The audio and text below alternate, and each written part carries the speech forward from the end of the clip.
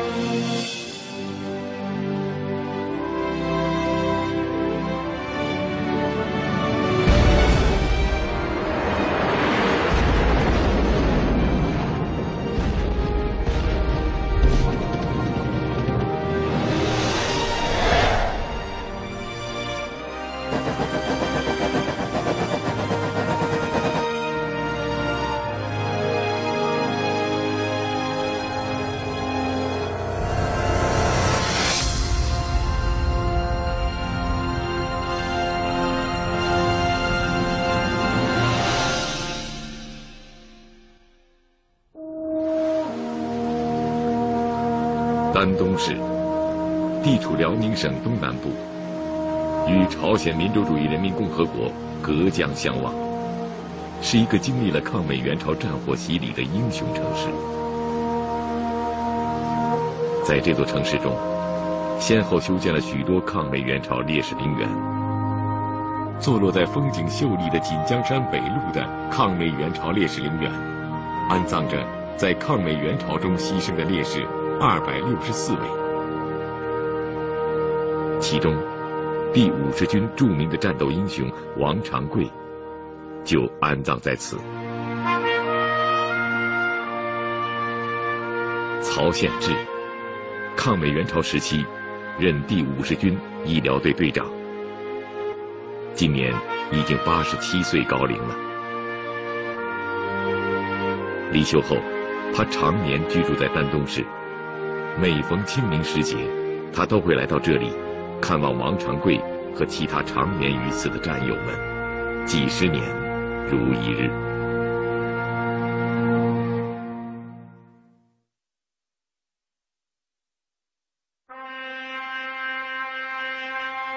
位于丹东市的抗美援朝纪念馆，是中国唯一一座全面反映抗美援朝战争的专题纪念馆。始建于一九五八年，在其英雄模范烈士馆展厅的墙上，悬挂着在抗美援朝战争中涌现出的两名特级英雄、五十名一级英雄，以及在抗美援朝战争中牺牲的烈士名册。他们中间的大部分人在牺牲时尚不满三十岁，正值青春年华。至今，在这座纪念馆中还保存着几十份烈士证，其中年龄最小的仅有十七岁。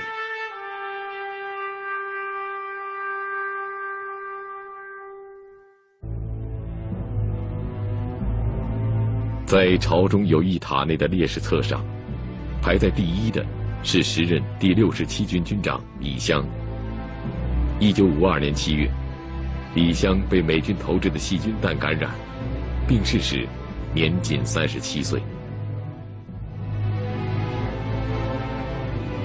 一九五二年十二月十日，李湘的灵柩由朝鲜运回祖国，被安葬于石家庄华北军区烈士陵园。时任中国人民解放军代总参谋长、华北军区司令员聂荣臻挥笔写下了。我深已丧失了二十年的老战友、青年优秀将领李湘同志，而哀悼。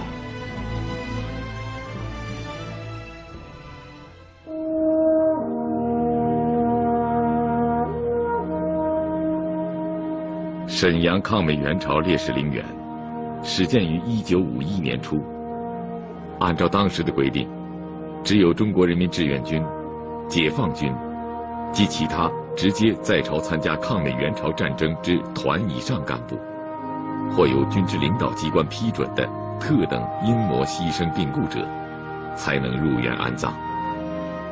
规格之高，可见一斑。在抗美援朝中牺牲的四位军级领导里，就有三位长眠于此。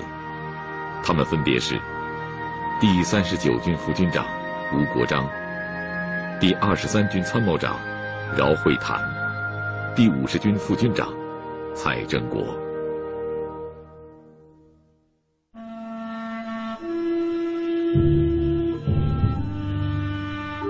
一九五一年十月六日，第三十九军副军长吴国璋在志愿军司令部开完会返回军部的途中。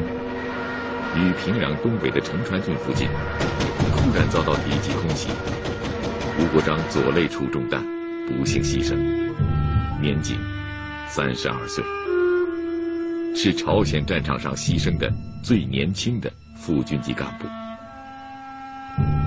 吴国璋牺牲后，第三十九军军长吴信全亲自将这位红军时期就共同战斗的亲密战友送回国内安葬。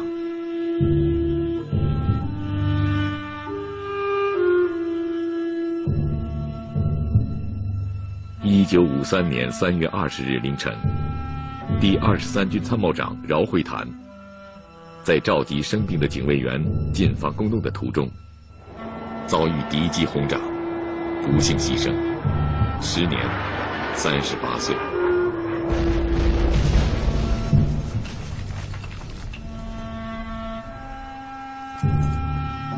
在饶会谈牺牲仅仅二十二天后的四月十二日晚，第五十军代理军长蔡振国正在军部主持召开军事会议。晚九点四十分左右，夜空中突然响起了敌机的轰鸣声，炸弹下来那个声音，摩擦空气那个声音，砰一下，就直接轰过去。醒来以后，结果在想我还活着，这是活活得赶紧伸手，右边是警长，这边是科长，一摸警长没有了。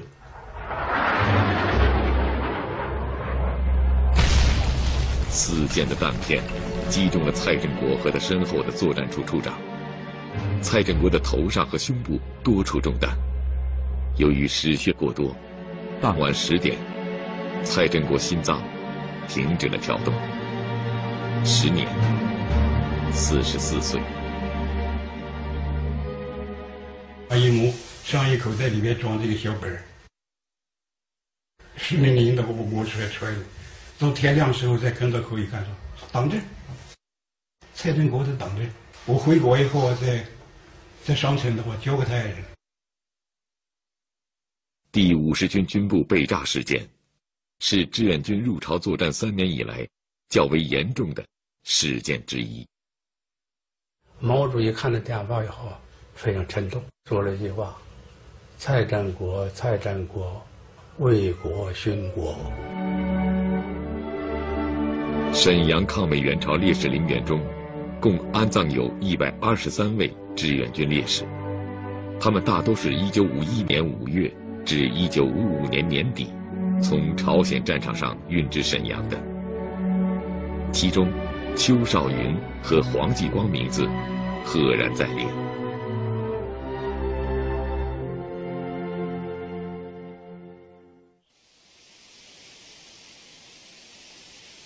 一九五二年十月，为了配合上甘岭战役，志愿军三兵团和第十五军决定，第八十七步兵团配属第四十四师。奉命夺取金华以西敌军的前哨阵地三九幺高地。第四十四师师长向守志，在大部队进攻的前一晚，将一支小部队潜伏在敌人阵地前沿的草丛中，以待次日傍晚发起突袭。然后战前我们就规定了严格的纪律，任何人在任何情况下。啊，就是打伤了也好，是打牺牲也好，啊，这个都不能动的。邱少云，四川铜梁县人，九岁丧父，十一岁丧母，他性格朴实内向，沉默寡言。临上战场前，邱少云立下了誓言：谁英雄，谁好汉，战场上比比看。一九五二年十月十一日夜，邱少云和四百多名战友一起，潜伏在了深深的蒿草中。第二天天亮后，敌人开始盲目的向其阵地周围进行试探性射击，并间歇性发射各种炮弹。期间，我军潜伏区部队中虽然有人负伤，但却始终没有暴露目标。邱少云在这潜伏当中，被敌人的燃烧弹打着了，烧着他的伪装，烧着他的衣服以后呢，邱少云始终不动，啊，也是活活的呀，啊，这个被烈火烧死了。邱少云以年仅二十六岁的生命，换取了潜伏部队的安全，为攻击任务的顺利完成赢得了宝贵的时间。下午五点四十分，在潜伏了十九个小时以后，邱少云的战友们向敌人发起了冲锋。战后，团里为邱少云报了二等功，层层上报到志愿军政治部后，首长决定为邱少云记特等功，授一级战斗英雄称号。一九五三年，邱少云的遗体被送回了沈阳。他是十二个朝鲜民主主义人民共和国英雄之一。与邱少云的遗体同时送往沈阳的，还有黄继光的遗体。在邱少云牺牲七天之后，二十一岁的黄继光，在上甘岭战役中献出了自己年轻的生命。由于地势偏远。在黄继光牺牲三个月后，他的母亲邓芳芝才得知了儿子牺牲的消息。一九五三年三月，四川省人民政府主席李井泉批准黄继光的家乡石马乡更名为继光乡。一个月后，黄继光的母亲邓芳芝受邀出席全国妇女大会。会上，毛泽东对她说：“你牺牲了一个儿子，我也牺牲了一个。”会后，毛泽东还特意请他到中南海自己的家中做客，表达了一个烈士的父亲对一位英雄母亲的敬意。一年之后，邓芳芝将黄继光的弟弟黄继树又送到了朝鲜战场。把我送到部队去，就是为了发扬黄继光的荣誉，要使代代人都能做这样的继承人。他说我妈妈的思想非常开朗，把我送到部队去的。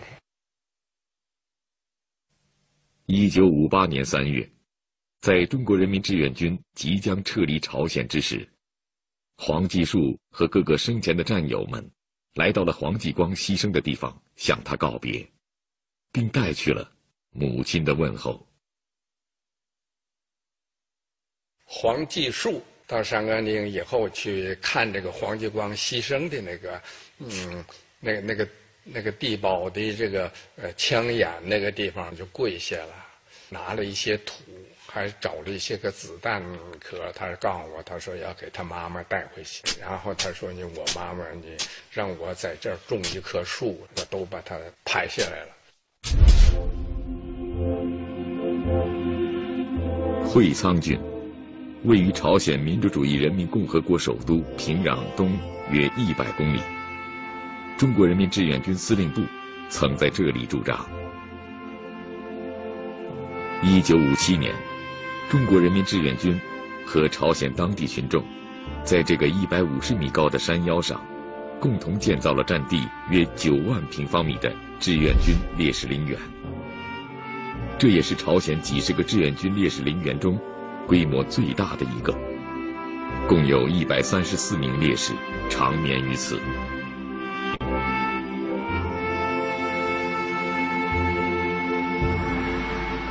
一九五八年十月二十一日，志愿军最后一任司令员杨勇，带领志愿军总部全体人员，向长眠在此的志愿军烈士们，做回国前的最后一次悼念。几天后，活着的人们凯旋了，而成千上万的中华儿女却永远长眠在了朝鲜的土地上。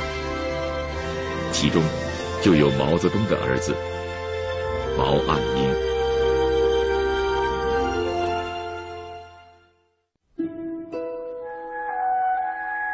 一九五零年十月八日，中南海决定出兵朝鲜的当天晚上，毛泽东设家宴为彭德怀饯行。期间，毛泽东亲自给毛岸英报名参加志愿军。当时，毛泽东身边的人都不同意毛岸英去朝鲜，但毛泽东的回答是：“谁叫他是毛泽东的儿子？”就这样，毛岸英成了中国人民志愿军的第一个志愿兵，任司令部办公室俄文翻译、机要秘书、作战处参谋。赵南起，时任志愿军司令部作战处参谋。他与毛岸英朝夕相处了一个月零五天。六十多年过去了，但毛岸英牺牲时的场景，他依然记忆犹新。十点左右，敌人飞机来了四架，扔了几十颗零五九弹，结果你一时间啊，棚中的那个两间房和作战处的那个三间房。一下烧没了，整整个那个地区也成了火海了，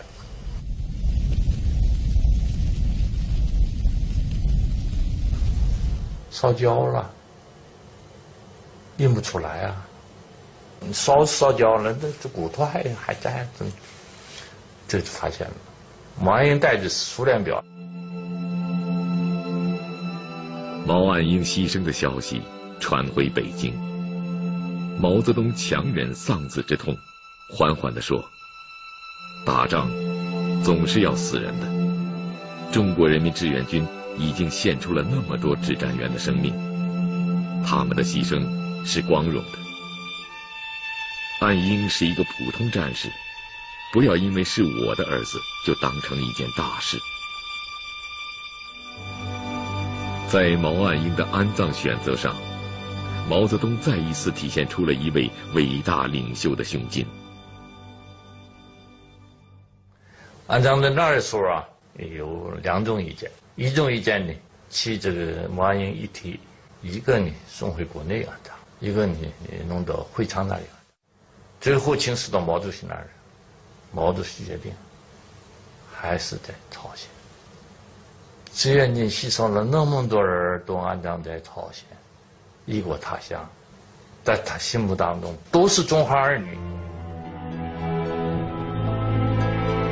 对于毛岸英的牺牲，彭德怀曾经评价说：“国难当头，挺身而出，这不是每个人都能做到的。但毛岸英做到了。毛岸英是坚决请求到朝鲜抗美援朝的。”从入朝参战到牺牲，只有短短的三十七天。年仅二十八岁的毛岸英，没有获得任何荣誉称号和奖章，但是，他和成千上万把生命留在朝鲜的志愿军战士一样，在这场和平与正义的战争中，永垂青史。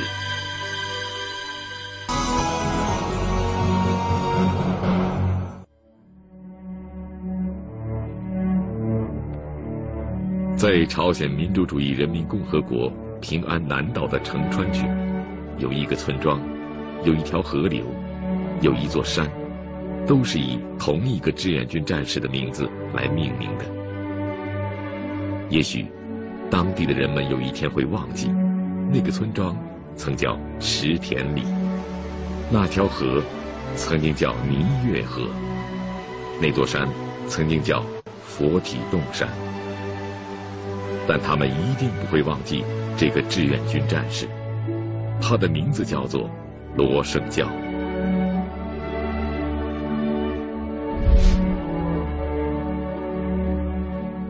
一九五二年新年伊始，正值朝鲜半岛冰天雪地的时节。与自然气候相仿的是，朝鲜战争也进入了十分艰苦的相持阶段。罗盛教所在的中国人民志愿军第四十七军幺四幺师，奉命来到了平安南道成川郡一带进行休整训练。一月二日早晨。与往常一样，罗胜教随所在的连队例行出操。在训练结束返回营地的途中，突然远处传来了朝鲜少年的呼救声。这个朝鲜少年叫崔英呐，啊，崔英呐，他早晨滑冰的时候啊，一下就掉到冰窟窿里面去了。掉到冰窟窿里去了，我们侦察连的文书啊，罗胜教。啊，当时就一面跑一面一面脱衣服，就把衣服脱了，脱了以后就跳到冰窟窿里面去救这崔英。崔英脱了几次，最后凭他全身的力气把崔英拖出水面。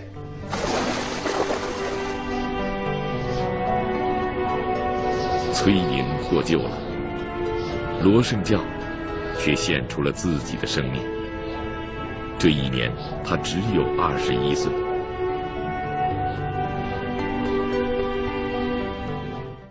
当地老百姓把他，呃，抬起来，然后呢，用温水给他洗了澡，擦了身上，用白布给他裹起来，按照朝鲜的风俗，就埋在那个他们家乡的那个呃山的小山上了。一九五二年二月四日，新华社播发了本社记者戴煌发自朝鲜前线的通讯：“不朽的国际主义战士。”报道了罗盛教舍身抢救落水朝鲜儿童的英雄事迹。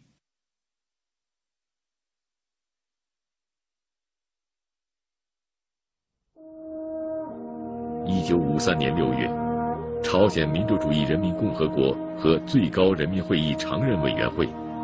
分别授予罗盛教烈士一级国旗勋章和一级战士荣誉勋章。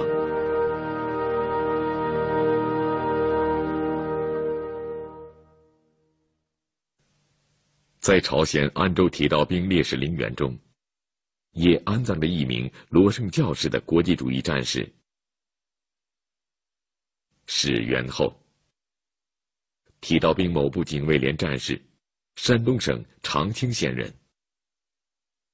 五三年十二月一日，一个朝鲜儿童在滑冰，掉到冰窟窿去，被被救的儿童是赵元红，儿童得救了，他光荣的牺牲了。一九五三年十二月五日，朝鲜平安南道安州郡人民及史元厚生前所在部队三千多人，隆重举行追悼大会，将史元厚的遗体。安葬在龙潭岭上。中国人民志愿军领导机关追认他为中国共产党党员，授予一等功臣、二级爱民模范称号。山东省人民政府在他的家乡长清县潘庄建起烈士纪念堂。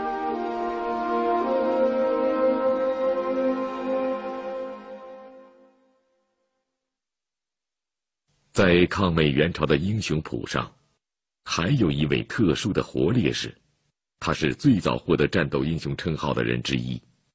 后来的黄继光、邱少云等人都是学习他而做出英雄壮举的。这个人的名字叫做柴云振。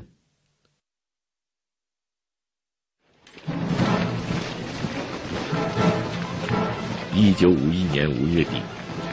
第五次战役已接近尾声，柴云振所在的第十五军四十五师接受任务，在支布里地区的朴达峰坚守七至十天时间。在朴达峰阻击战的第六天，柴云振从第四十五师警卫工兵连被抽调补充到第幺三四团八连七班任班长。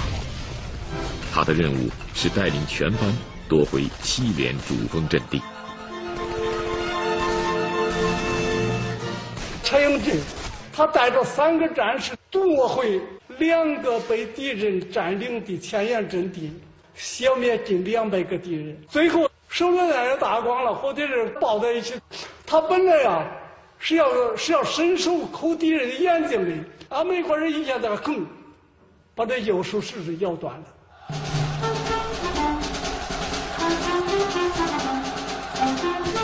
此时。第四十五师增援部队赶到，将柴云振简单包扎后，转运下了阵地。柴云振被志愿军政治部授予特等功臣、一级战斗英雄称号，他所在的部队成为了英雄部队，他所在八连也被评为特工八连。但此时，柴云振却失踪了。志愿军总部发给柴云振的英雄勋章无人领取，在朝鲜的军事博物馆展厅里，也挂起了英雄柴云振的遗像。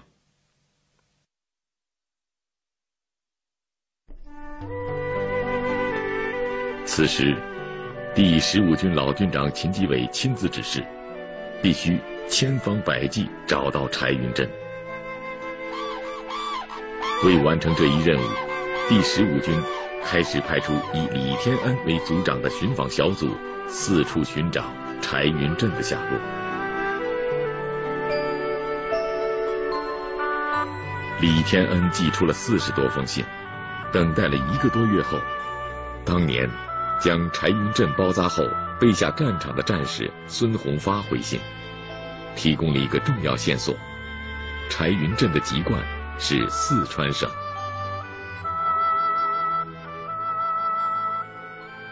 接在信里头，我就起草那个九十二个字的随人启事，在四川日报上登一登。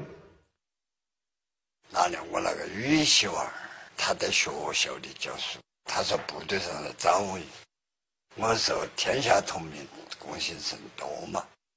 他来做了嘛三次工作，他说爸爸也管他是不是嘛，你回去看看你的老部队嘛，老老首长嘛。在家人的劝说和儿子的陪同下，柴云振回到了老部队。经过调查核实，英雄的身份得到了确认。三十多年过去了，老首长们与柴云振相拥而泣。向守志说：“柴云振，我们找的你好苦啊！”不久，秦基伟还特意在北京的家中。宴请了柴云振。原来，朴达峰战役中，柴云振身负重伤，几经辗转后，送到了包头的一家医院。在住院一年后，他拿着三等乙级残废军人证书，在民政局领取了一千斤大米的复员费，回到了自己的家乡岳池。回乡后，他先后担任过大队长。乡长、公社党委副书记等职。三十多年里，柴云振默默地为党和人民辛勤工作，无私奉献。谁也不知道他是一位大英雄，包括他自己。一九八四年十一月的一天，五十六岁的柴云振穿上了一身崭新的军装，领回了迟到三十多年的勋章。第二年，柴云振随抗美援朝英雄代表团访问朝鲜，在朝鲜军事博物馆，柴云振请服务员将自己的遗像和事迹简介摘了下来。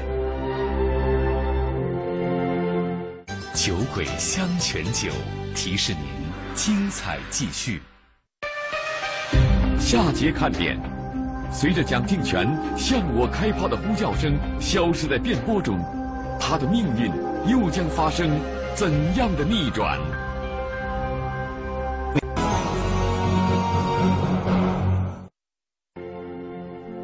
柴云振无疑是幸运的。与其相比许多无名英雄更值得人们尊重。蒋庆泉就是其中之一。一九四九年四月蒋庆泉进入通讯班，做了步话机员。一九五二年九月，蒋庆泉随第二十三军入朝。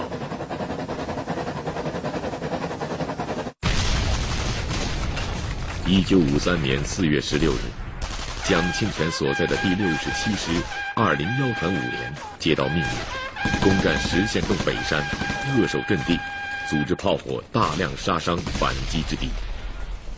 经过几番争夺，蒋庆泉所在连、排、班长全部牺牲，一百六十五人组成的加强连所剩无几。五连都说的。报告营长，我们连的那个那连连干部、连排长全部牺牲，就剩我们几个人了。你看咋办？哎，完说那你也得阻止啊。营长说也得阻阻阻这个组织人员准备敌人反击呀。都说那可以呀，但是呢，我们连个通讯员都没有了，是连步行机员都没了。营长一回头，你留下吧。来，把营部给我下在那北山上，给我下放到五连了。在坚守了一天两夜后，蒋庆泉通过步话机报告，阵地上只剩下了十多个伤兵员，两把冲锋枪和不多的子弹，只能退入阵地的地堡中。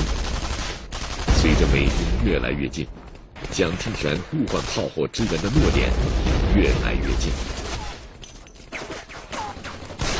延安，延安，延安，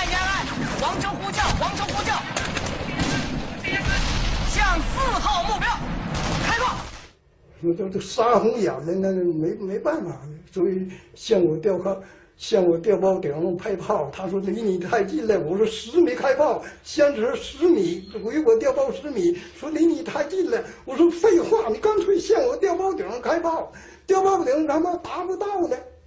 我说没办法了，向我开炮，是这么喊出来。他用这种就是对准我的全身打，对准我打，所以我一直都没有啊。哎，特别是那个那个向我开炮那个电影出来以后啊，眼看美军就要占领阵地时，蒋庆泉最后喊道：“向我开炮！”向我开炮！随后，声音消失在电波中。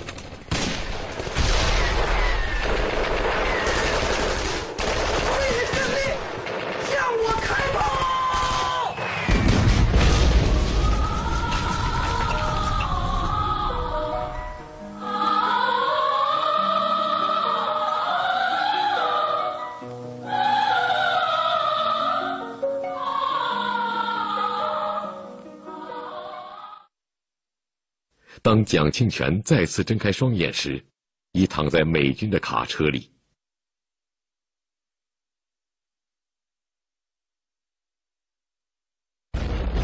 石县洞北山战斗结束后，战地报记者洪儒在实地采访时，听说了蒋庆泉向我开炮的事迹。很快，洪儒反映蒋庆泉事迹的战地通讯。顽强的声音，即步行机员蒋庆泉创作完成。就在这时，一条震惊的消息传来：在联合国军交换的战俘人员名单中，有蒋庆泉的名字。同年七月。第二十三军七十三师二幺七团的步话机员于树昌，也在战斗中呼唤炮火，与敌同归于尽。于是，鸿儒根据未能发表的顽强的声音，以于树昌为主角，又另写了一篇通讯，向我开炮。影人民的编剧呢，跟导演商量了，说这个王成死的死的太简单了，给他。加点英雄是英雄故事，他是把这个向我开炮讲出去。再近一点，向我这儿打，别顾我。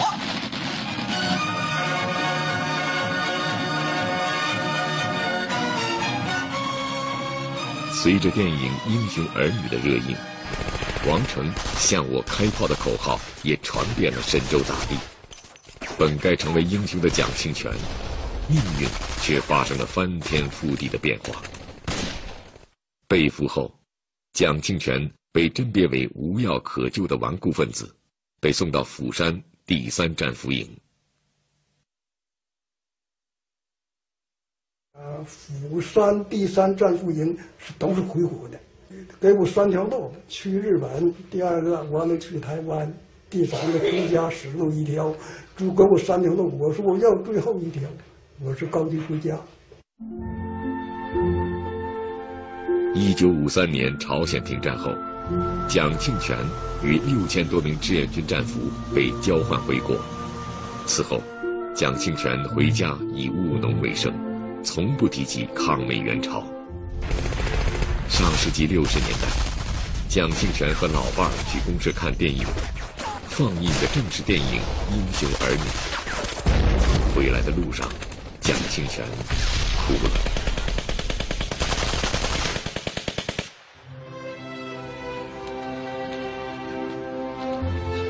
今年已经八十五岁的蒋庆泉，每逢赶集日，都会带着老伴儿到附近的集市支上小摊儿，售卖老伴儿亲自缝制的鞋垫儿。军人和残疾人免费。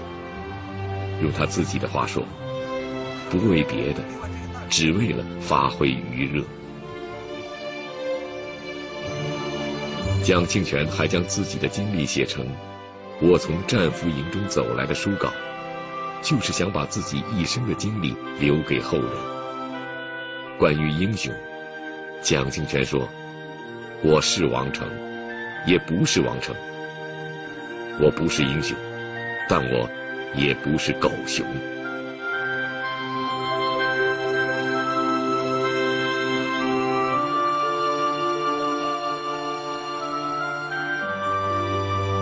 在朝鲜战场上，还有一群特殊的人，他们不具备专业的军事素质，但他们同样信仰坚定，不畏牺牲。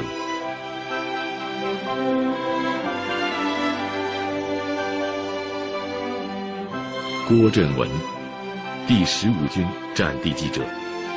一九五一年四月二十二日，五次战役开始后，他被派往第幺三三团随部队采访。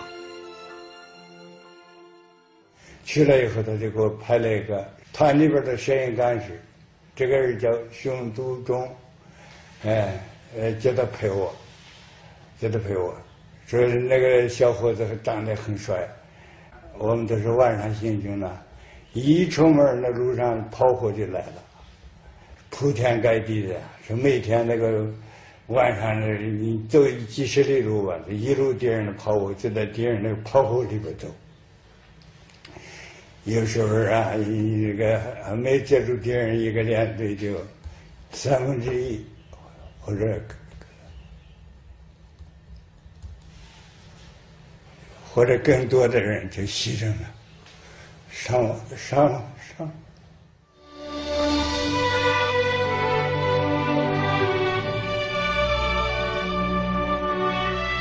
郭振文和其他记者一起，以笔作枪，记录着战争的残酷。当地幺三三团到达目的地时，随行报道的十七人，只剩下了七位。摄影干事熊笃忠。被炮弹打中，不幸牺牲。第二天，我们就清理这个烈士烈烈士的东西，就看这个冯干石、熊干石的有一份日记。有一份日记呢，我当时是军那边的记者嘛，我就要来看一看，要来看一看。他这个熊熊干事正在谈恋爱，他这个爱人呢。叫玉带，日记上就写的是非常的缠绵，里边说有很多的承诺了，说将来胜利了以后，呃，一定陪你去全国看一看，去全国各地看一看，呃，到莫斯科看一看。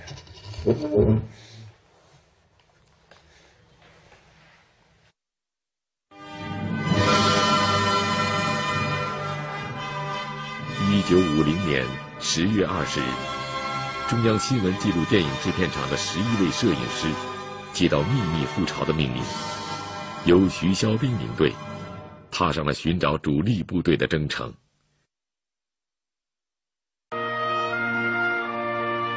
摄影师刘德远带领两名助理苏忠义、孙树湘，跟随第幺幺三师的前卫团第三三七团日夜行军。他们除了和战士们一样全副武装，还得携带着沉重的摄影器材。抗美援朝战争中英雄的中国人民志愿军，就是摄影师们记录的主体。新闻纪录电影这个队伍，是咱们党培养下来的队伍，是吧？这个队伍一不怕苦，二不怕死，是吧？吃苦在前，享受在后，不计较个人名和利，是吧？全心全意为人民。第五次战役，杨一中啊走到前面，结果呢，到早上敌人飞机来了，就进行又轰炸又扫射的，他那儿牺牲。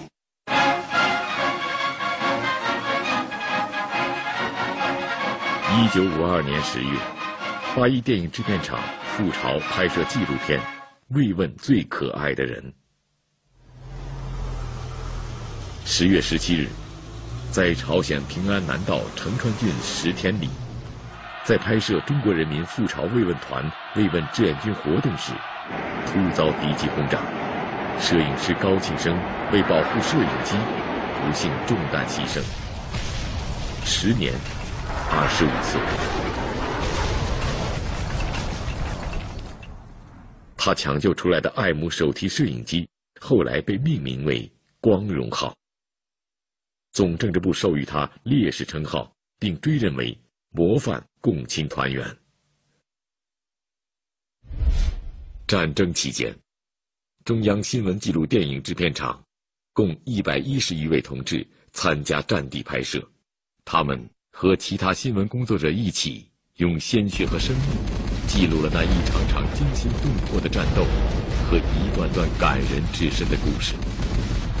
他们为后人留下了一笔不可复制的珍贵财富，从另一个角度印证着中国人民志愿军的英勇和无畏，见证了抗美援朝的战争。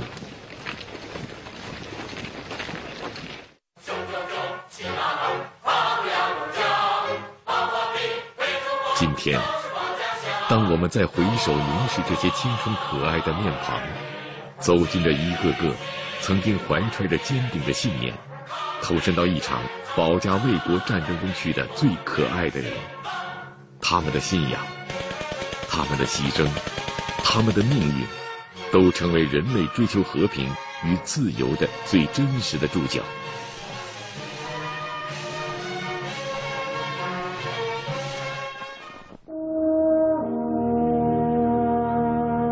在丹东抗美援朝纪念馆。经过十多年的调查核实，共确认，十八万三千一百零八名中国人民志愿军官兵，在朝鲜战争期间为国捐躯。这些志愿军烈士，来自除西藏以外中国大陆的三十个省、自治区、直辖市。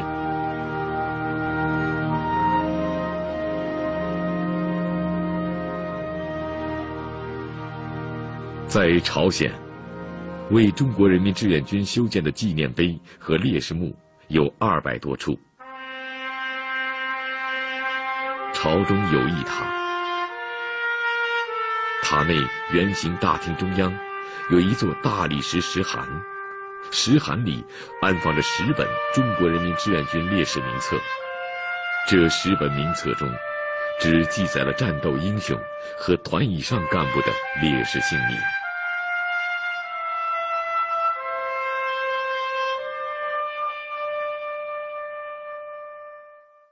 酒鬼香泉酒提示您：精彩继续。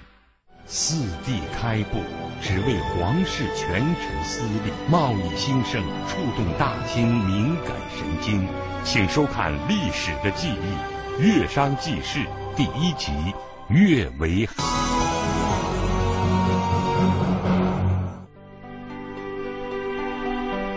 在中国，纪念抗美援朝的各种纪念碑、纪念馆数不胜数。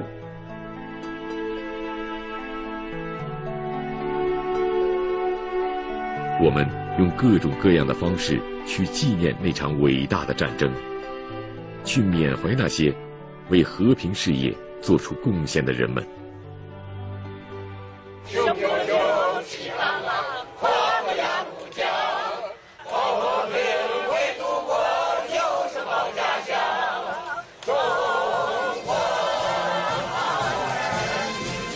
中国人民志愿军一把炒面，一把血。用鲜血，用青春，用生命，再次向世人展示了中国军人钢铁般的意志和必胜的信念。志愿军的精神，已经成为中华民族的宝贵财富。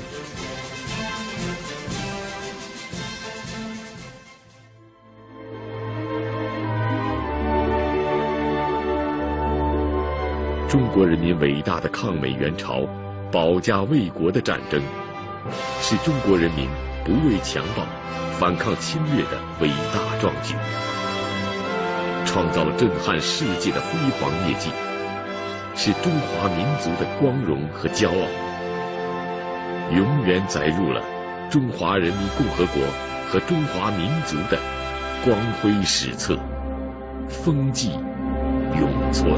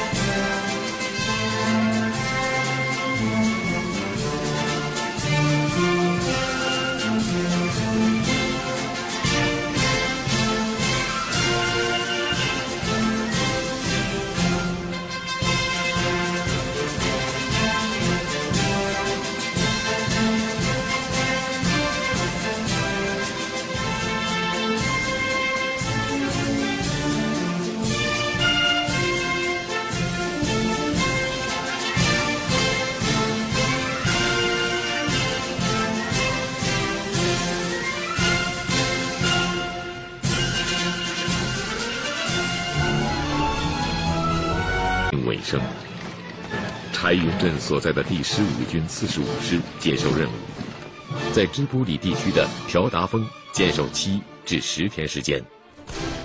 在朴达峰阻击战的第六天，柴云振从第四十五师警卫工兵连被抽调补充到第幺三四团八连七班任班长。他的任务是带领全班夺回七连主峰阵地。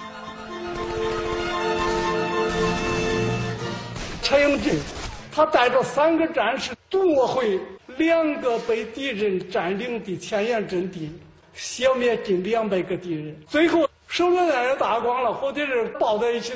他本来呀是要是要伸手抠敌人的眼睛的，俺美国人一下子梗，把这右手食指咬断了。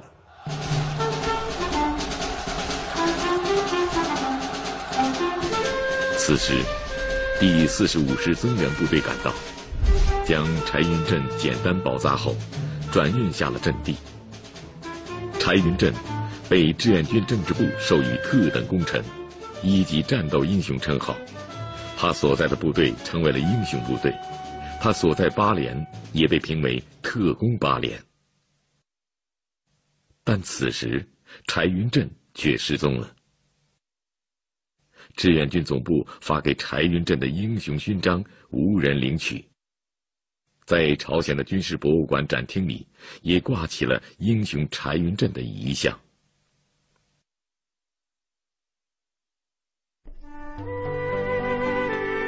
此时，第十五军老军长秦基伟亲自指示，必须千方百计找到柴云振。为完成这一任务，第十五军开始派出以李天恩为组长的寻访小组，四处寻找柴云振的下落。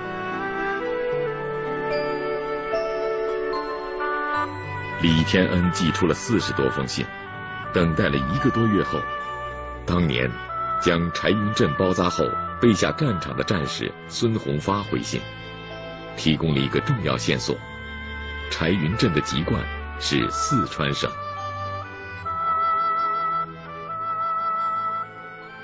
接到信里想，我就起草那个九十二个字的随人启事，在《四川日报》上登一登。那年我那个女媳妇儿，她在学校里教书，她说部队上的张伟，我说天下同名，贡献甚多嘛。他来做了嘛三次工作，他说爸爸也管他是不是嘛，你回去看下你的老部队嘛，老老首长嘛。在家人的劝说和儿子的陪同下，柴云振回到了老部队。经过调查核实，英雄的身份得到了确认。三十多年过去了，老首长们与柴云振相拥而泣。向守志说：“柴云振，我们找的你好苦啊！”不久，秦基伟还特意在北京的家中宴请了柴云振。原来。朴达峰战役中，柴云振身负重伤，几经辗转后送到了包头的一家医院。在住院一年后，他拿着三等乙级残废军人证书，在民政局领取了一千斤大米的复员费，回到了自己的家乡岳池。回乡后，他先后担任过大队长、乡长、公社党委副书记等职。三十多年里。柴云振默默地为党和人民辛勤工作，无私奉献。谁也不知道他是一位大英雄，包括他自己。一九八四年十一月的一天，五十六岁的柴云振穿上了一身崭新的军装，领回了迟到三十多年的勋章。第二年。柴云振随抗美援朝英雄代表团访问朝鲜，在朝鲜军事博物馆，柴云振请服务员将自己的遗像和事迹简介摘了下来。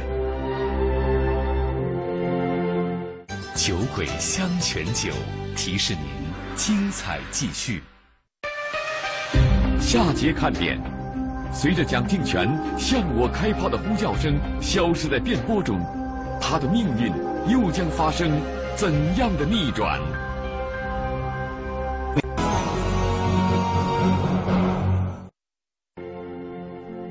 柴云振无疑是幸运的，与其相比，许多无名英雄更值得人们尊重。蒋庆泉就是其中之一。一九四九年四月，蒋庆泉进入通讯班，做了步话机缘。一九五二年九月，蒋庆泉随第二十三军入朝。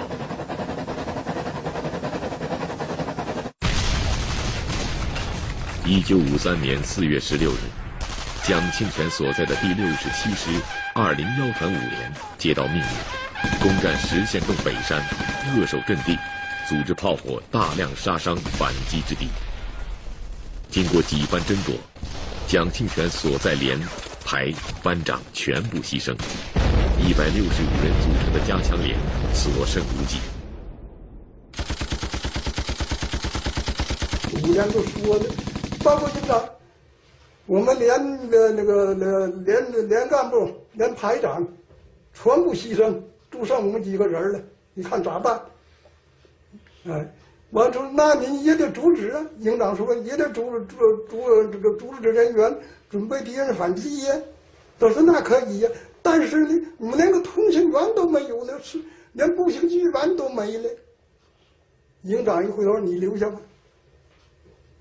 来，把营部给我下，在那北山上给我下放到五连了。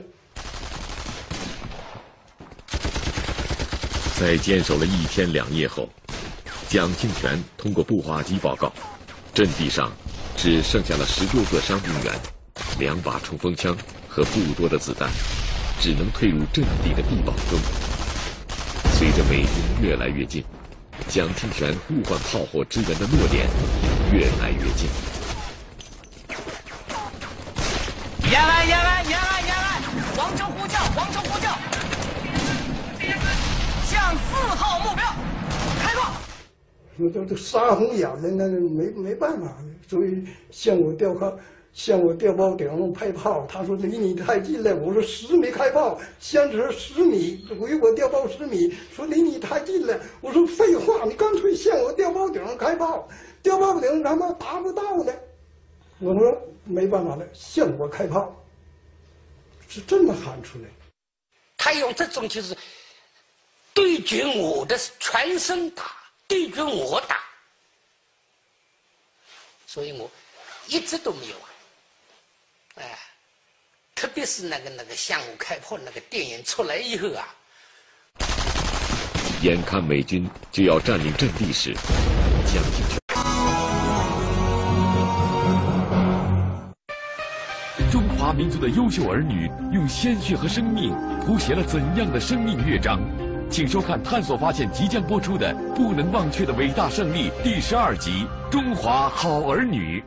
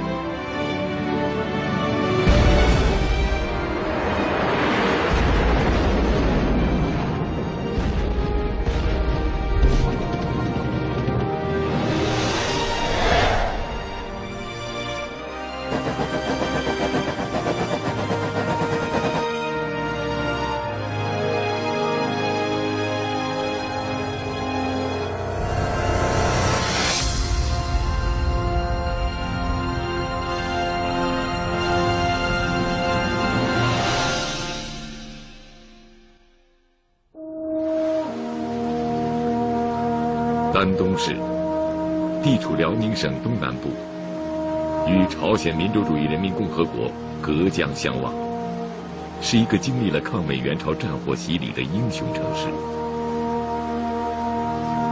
在这座城市中，先后修建了许多抗美援朝烈士陵园。坐落在风景秀丽的锦江山北麓的抗美援朝烈士陵园，安葬着在抗美援朝中牺牲的烈士。二百六十四位，其中第五十军著名的战斗英雄王长贵就安葬在此。曹献志，抗美援朝时期任第五十军医疗队队长，今年已经八十七岁高龄了。离休后，他常年居住在丹东市。每逢清明时节，他都会来到这里，看望王长贵和其他长眠于此的战友们，几十年如一日。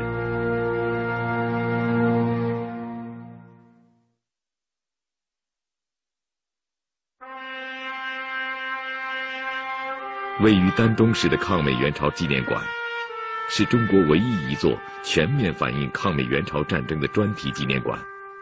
始建于一九五八年，在其英雄模范烈士馆展厅的墙上，悬挂着在抗美援朝战争中涌现出的两名特级英雄、五十名一级英雄，以及在抗美援朝战争中牺牲的烈士名册。他们中间的大部分人在牺牲时尚不满三十岁，正值青春年华。至今，在这座纪念馆中还保存着几十份烈士证，其中年龄最小的仅有十七岁。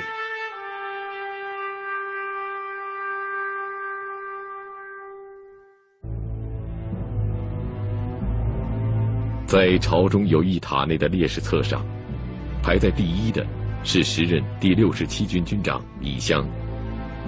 一九五二年七月，李湘被美军投掷的细菌弹感染，病逝时年仅三十七岁。一九五二年十二月十日，李湘的灵柩由朝鲜运回祖国，被安葬于石家庄华北军区烈士陵园。时任中国人民解放军代总参谋长、华北军区司令员聂荣臻挥笔写下了。我深已丧失了二十年的老战友、青年优秀将领李湘同志，而哀悼。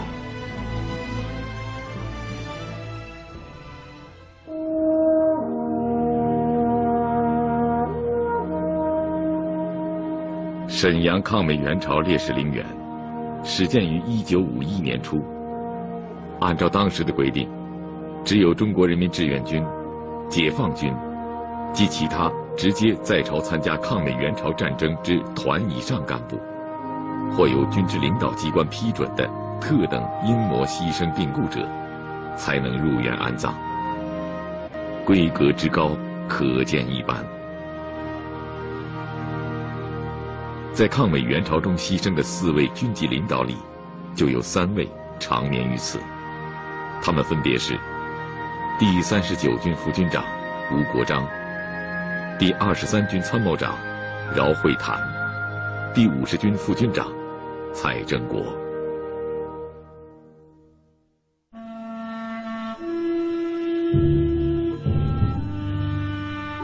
一九五一年十月六日，第三十九军副军长吴国璋在志愿军司令部开完会返回军部的途中，于平壤东北的城川郡附近，突然遭到敌机空袭。吴国璋左肋处中弹，不幸牺牲，年仅三十二岁，是朝鲜战场上牺牲的最年轻的副军级干部。吴国璋牺牲后，第三十九军军长吴信全亲自将这位红军时期就共同战斗的亲密战友送回国内安葬。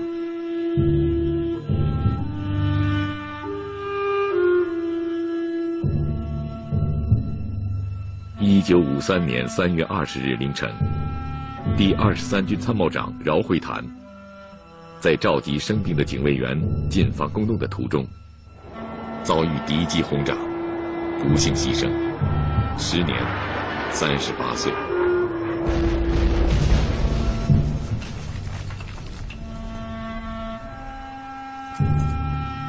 在饶会谈牺牲仅仅二十二天后的四月十二日晚。第五十军代理军长蔡振国正在军部主持召开军事会议。晚九点四十分左右，夜空中突然响起了敌机的轰鸣声，炸弹下来那个声音，摩擦空气那个声音，砰一下，就直接轰过去。醒来以后，结果才想我还活着。这是或或者赶紧伸手，右边是警长，这边是科长，一摸警长没有了。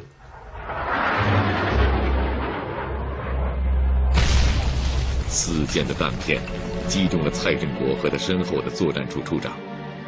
蔡振国的头上和胸部多处中弹，由于失血过多，当晚十点，蔡振国心脏停止了跳动。十年。四十四岁，把一摸上衣口袋里面装这个小本儿，是命令的，我摸出来出来的。到天亮时候再跟到可以看说等着，蔡振国在等着。我回国以后再再上城的话交给他爱人。第五十军军部被炸事件，是志愿军入朝作战三年以来较为严重的事件之一。毛主席看了电报以后，非常沉重，说了一句话：“蔡战国，蔡战国，为国殉国。”沈阳抗美援朝烈士陵园中，共安葬有一百二十三位志愿军烈士，他们大都是一九五一年五月至一九五五年年底，从朝鲜战场上运至沈阳的。其中，邱少云和黄继光名字赫然在列。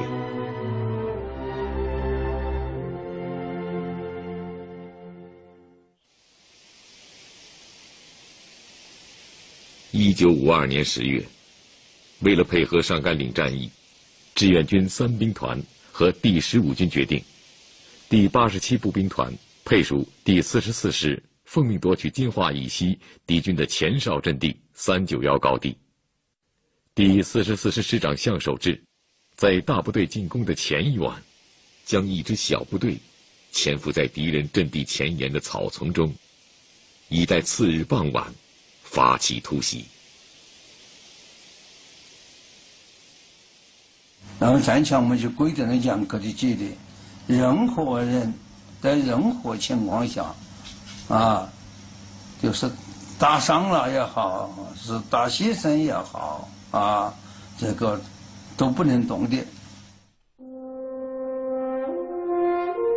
邱少云，四川铜梁县人。九岁丧父，十一岁丧母，他性格朴实内向，沉默寡言。临上战场前，邱少云立下了誓言：谁英雄，谁好汉，战场上比比看。一九五二年十月十一日夜，邱少云和四百多名战友一起，潜伏在了深深的蒿草中。第二天天亮后，敌人开始盲目的向其阵地周围进行试探性射击，并间歇性发射各种炮弹。期间，我军潜伏区部队中虽然有人负伤，但却始终没有暴露目标。邱少云在这潜伏当中被敌人的燃烧弹打着了，烧着他的伪装，烧着他的衣服以后呢，邱少云始终不动，啊，也是活活的呀。啊，这个被烈火烧死了。邱少云以年仅二十六岁的生命，换取了潜伏部队的安全，为攻击任务的顺利完成赢得了宝贵的时间。下午五点四十分，在潜伏了十九个小时以后，邱少云的战友们向敌人发起了冲锋。战后，团里为邱少云报了二等功，层层上报到志愿军政治部后，首长决定为邱少云记特等功，受一级战斗英雄称号。一九五三年，邱少云的遗体被送回了沈阳，他是十二个朝鲜民主主义人民共和国英雄之一。与邱少云的遗体同时送往沈阳的，还有黄继光的遗体。在邱少云牺牲七天之后，二十一岁的黄继光，在上甘岭战役中献出了自己年轻的生命。由于地势偏远，在黄继光牺牲三个月后，他的母亲邓芳芝才得知了儿子牺牲的消息。一九五三年三月。四川省人民政府主席李井泉批准黄继光的家乡石马乡更名为继光乡。一个月后，黄继光的母亲邓芳芝受邀出席全国妇女大会。会上，毛泽东对她说：“你牺牲了一个儿子，我也牺牲了一个。”会后。毛泽东还特意请她到中南海自己的家中做客，表达了一个烈士的父亲对一位英雄母亲的敬意。一年之后，邓芳芝将黄继光的弟弟黄继树又送到了朝鲜战场。把我送到部队去，就是为了发扬黄继光的荣誉，要使代代人都能做。这样的继承人，他说我妈妈的思想非常开放，把我送到部队去的。一九五八年三月，在中国人民志愿军即将撤离朝鲜之时，黄继树和各个生前的战友们来到了黄继光牺牲的地方，向他告别，并带去了母亲的问候。黄继树到上甘岭以后去看这个黄继光牺牲的那个，嗯，那个那个那个地堡的这个呃枪眼那个地方就跪下了，拿了一些土，还找了一些个子弹壳。他告诉我，他说要给他妈妈带回去。然后他说：“你我妈妈，你让我在这儿种一棵树，都把它拍下来了。”会仓郡。位于朝鲜民主主义人民共和国首都平壤东约一百公里。中国人民志愿军司令部曾在这里驻扎。一九五七年，中国人民志愿军和朝鲜当地群众，在这个一百五十米高的山腰上，共同建造了占地约九万平方米的志愿军烈士陵园。这也是朝鲜几十个志愿军烈士陵园中。规模最大的一个，共有一百三十四名烈士长眠于此。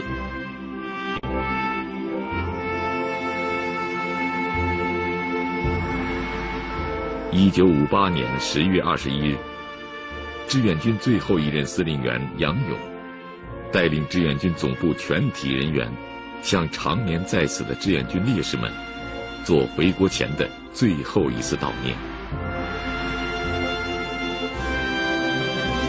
几天后，活着的人们凯旋了，而成千上万的中华儿女却永远长眠在了朝鲜的土地上。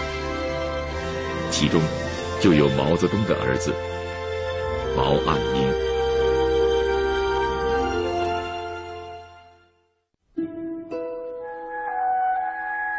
一九五零年十月八日，中南海决定出兵朝鲜的当天晚上。毛泽东设家宴为彭德怀饯行，期间，毛泽东亲自给毛岸英报名参加志愿军。当时，毛泽东身边的人都不同意毛岸英去朝鲜，但毛泽东的回答是：“谁叫他是毛泽东的儿子？”就这样，毛岸英成了中国人民志愿军的第一个志愿兵。任司令部办公室俄文翻译、机要秘书、作战处参谋。赵南起，时任战最后喊道：“向我开炮！向我开炮！”随后，声音消失在电波中。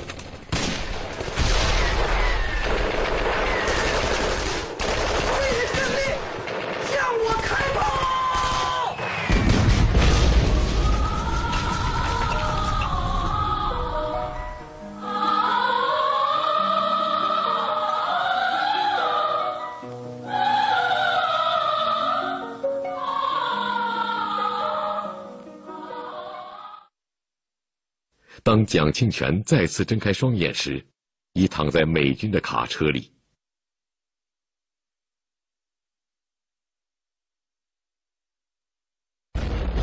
实线洞北山战斗结束后，战地报记者洪儒在实地采访时，听说了蒋庆泉向我开炮的事迹。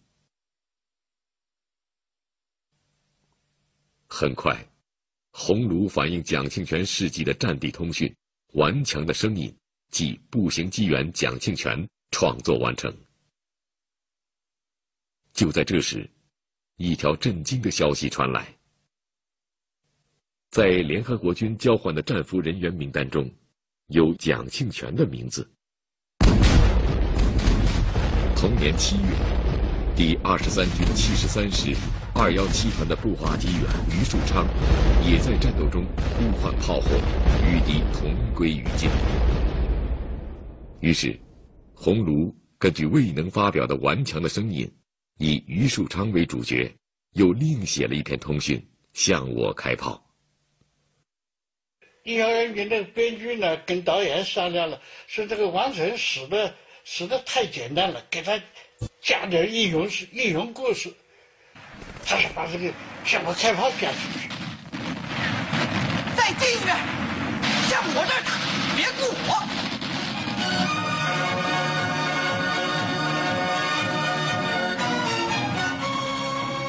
随着电影《英雄儿女》的热映，王成向我开炮的口号也传遍了神州大地。本该成为英雄的蒋庆全，命运却发生了翻天覆地的变化。被俘后，蒋庆泉被甄别为无药可救的顽固分子，被送到釜山第三战俘营。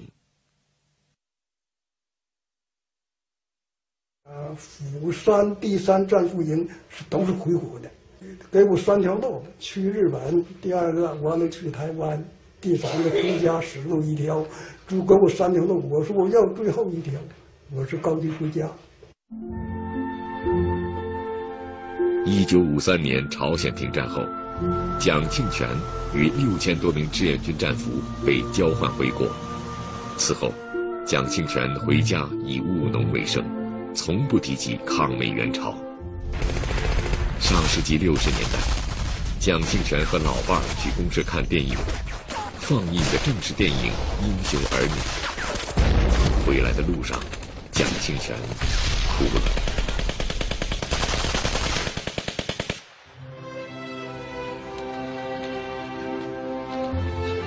今年已经八十五岁的蒋庆泉，每逢赶集日，都会带着老伴儿到附近的集市支上小摊儿，售卖老伴儿亲自缝制的鞋垫儿。军人和残疾人免费。用他自己的话说，不为别的，只为了发挥余热。蒋庆泉还将自己的经历写成《我从战俘营中走来的》书稿，就是想把自己一生的经历留给后人。关于英雄，蒋庆泉说：“我是王成，也不是王成。”我不是英雄，但我也不是狗熊。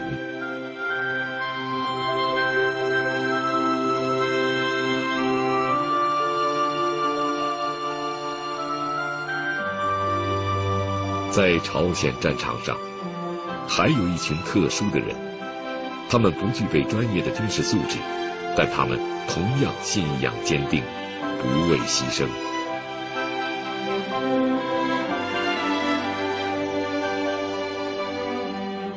郭振文，第十五军战地记者。一九五一年四月二十二日，五次战役开始后，他被派往第幺三三团随部队采访。去了以后，他就给我派了一个团里边的摄影干事，这个人叫熊祖忠，哎，呃，叫他陪我，叫他陪我，说那个小伙子长得很帅。我们都是晚上行军呢，一出门那路上炮火就来了，铺天盖地的，是每天那个晚上呢你走几十里路吧，一路敌人的炮火就在敌人那个炮火里边走。有时候啊，一个还没接触敌人，一个连队就三分之一或者。或者更多的人就牺牲了，伤亡伤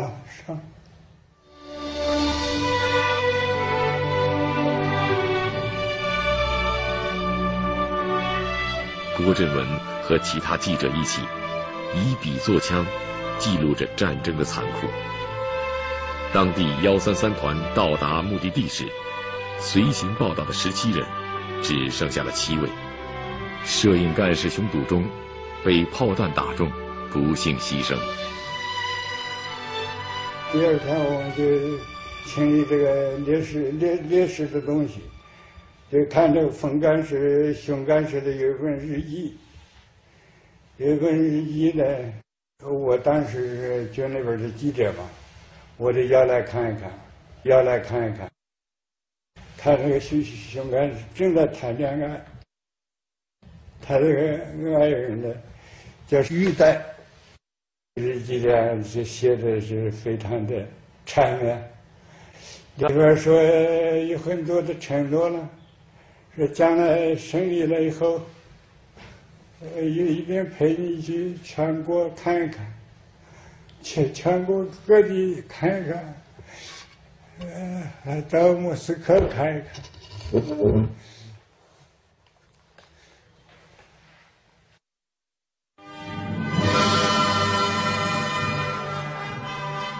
一九五零年十月二十日，中央新闻纪录电影制片厂的十一位摄影师接到秘密赴朝的命令，由徐肖兵领队，踏上了寻找主力部队的征程。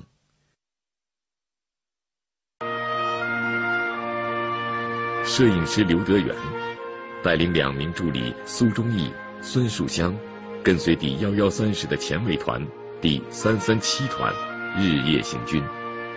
他们除了和战士们一样全副武装，还得携带着沉重的摄影器材。抗美援朝战争中英雄的中国人民志愿军，就是摄影师们记录的主体。新闻纪录电影这个队伍，是咱们党培养下来的队伍，是吧？这个队伍一不怕苦，二不怕死。志愿军司令部作战处参谋，他与毛岸英朝夕相处了一个月零五天。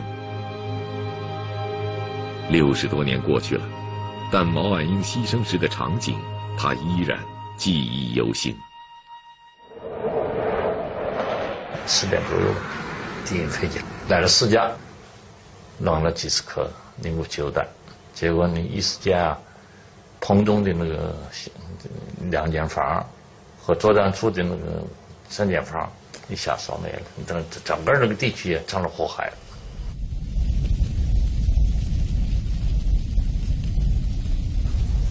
烧焦了，印不出来啊！烧烧焦了，这这骨头还还在，这就发现了。毛岸英带着苏联表，毛岸英牺牲的消息传回北京，毛泽东强忍丧子之痛，缓缓地说：“打仗总是要死人的，中国人民志愿军。”已经献出了那么多指战员的生命，他们的牺牲是光荣的。岸英是一个普通战士，不要因为是我的儿子就当成一件大事。在毛岸英的安葬选择上，毛泽东再一次体现出了一位伟大领袖的胸襟。安葬在那儿的时候啊，有两种意见。一种意见呢，其这个毛岸英遗体，一个呢送回国内安葬，一个呢弄到会昌那里。最后请示到毛主席那儿，毛主席决定还是在朝鲜。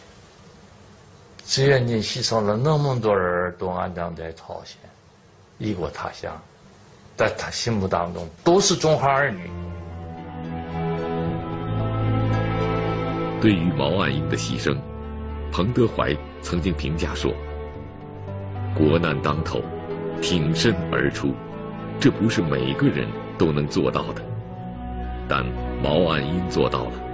毛岸英是坚决请求到朝鲜抗美援朝的。从入朝参战到牺牲，只有短短的三十七天。年仅二十八岁的毛岸英。”没有获得任何荣誉称号和奖章，但是，他和成千上万把生命留在朝鲜的志愿军战士一样，在这场和平与正义的战争中永垂青史。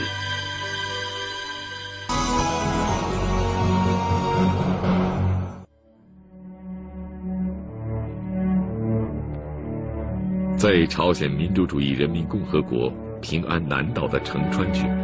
有一个村庄，有一条河流，有一座山，都是以同一个志愿军战士的名字来命名的。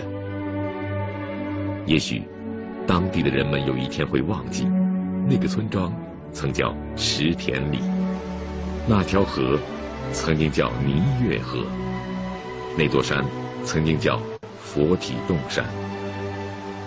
但他们一定不会忘记这个志愿军战士。他的名字叫做罗胜教。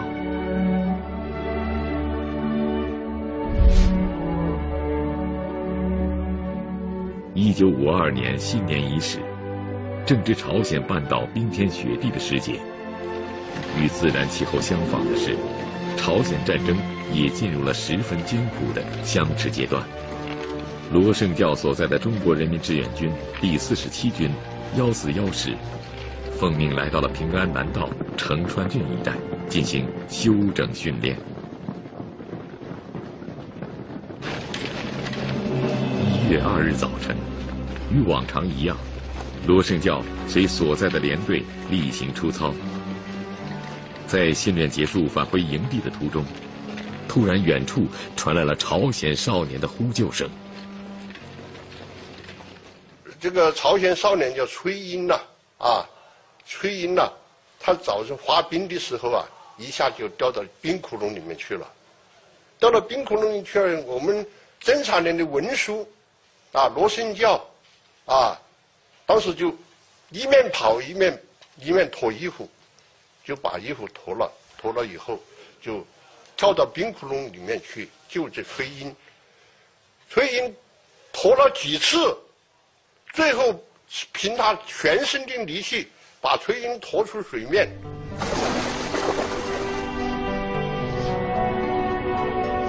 崔英获救了，罗胜教却献出了自己的生命。这一年，他只有二十一岁。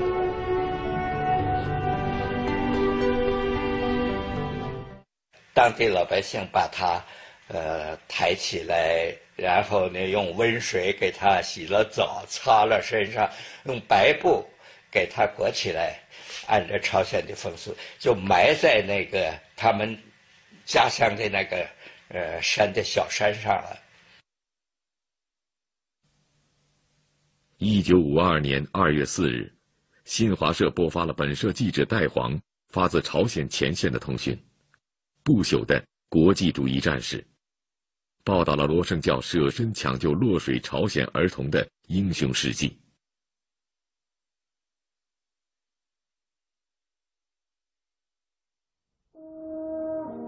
一九五三年六月，朝鲜民主主义人民共和国和最高人民会议常任委员会分别授予罗盛教烈士一级国旗勋章和一级战士荣誉勋章。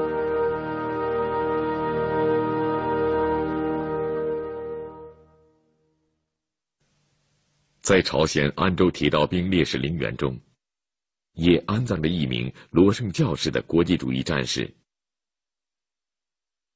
史元厚。铁道兵某部警卫连战士，山东省长清县人。五三年十二月一日，一个朝鲜儿童在滑冰，掉到冰窟窿去，被被救的儿童是赵元红，儿童得救了。他光荣的牺牲了。一九五三年十二月五日，朝鲜平安南道安州郡人民及史元厚生前所在部队三千多人，隆重举行追悼大会，将史元厚的遗体安葬在龙潭岭上。中国人民志愿军领导机关追认他为中国共产党党员，授予一等功臣。二级爱民模范称号。山东省人民政府在他的家乡长清县潘庄建起烈士纪念堂。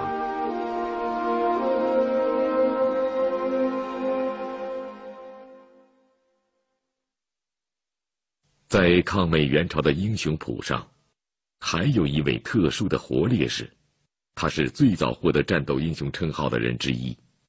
后来的黄继光、邱少云等人。都是学习他而做出英雄壮举的。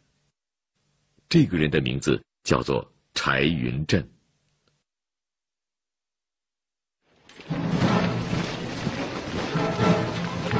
一九五一年五月底，第五次战役已接近。上一口在里面装这个小本儿，是命令的我摸出来出来的。到天亮时候再跟到口一看，说党着，蔡振国的党着。我回国以后，我再再上城的话，交给他爱人。第五十军军部被炸事件，是志愿军入朝作战三年以来较为严重的事件之一。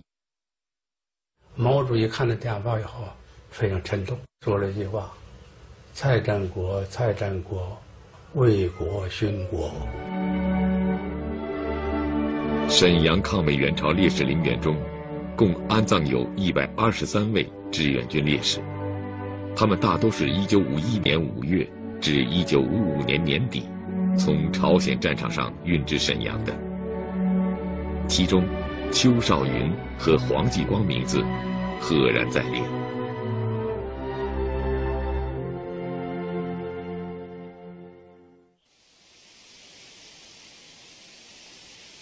一九五二年十月，为了配合上甘岭战役，志愿军三兵团和第十五军决定，第八十七步兵团配属第四十四师，奉命夺取金华以西敌军的前哨阵地三九幺高地。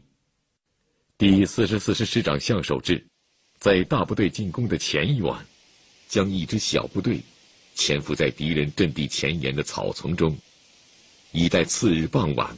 发起突袭。